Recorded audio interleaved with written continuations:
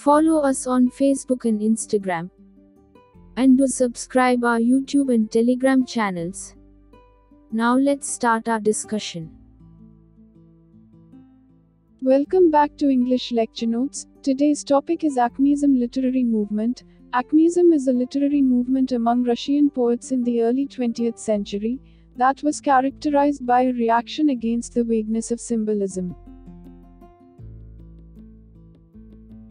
Acmeism is a school in modern Russian poetry, formed after fracturing away from symbolism. It is a reaction against the vagueness and affectations of symbolism.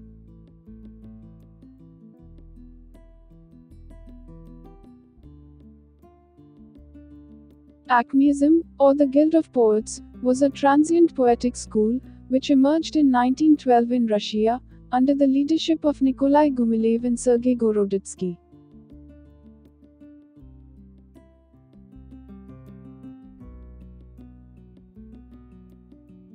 The term was coined after the Greek word acme, that means the best age of man.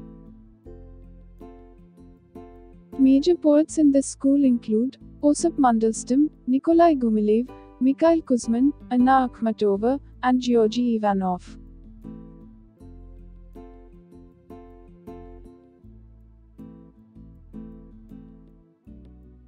The group originally met in the Stray Dog Cafe at St. Petersburg. It is a celebrated meeting place for artists and writers.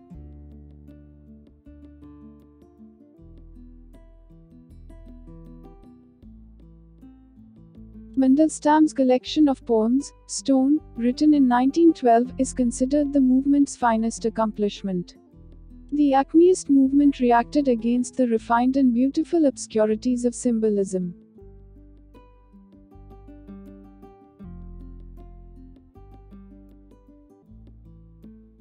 They reasserted the poet as craftsman, and used language freshly and with intensity.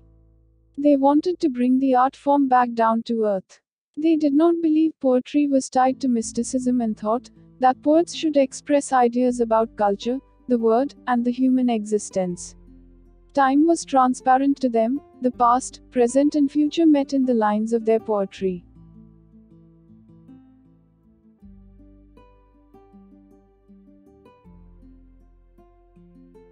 So, in short, Acmeism became one of the major currents in the post symbolist Russian literary avant garde. If you need any other movements or terms as video do comment under this video.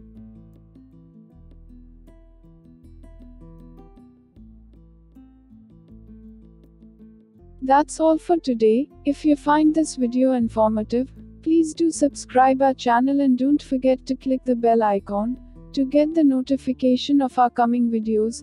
Thank you for watching.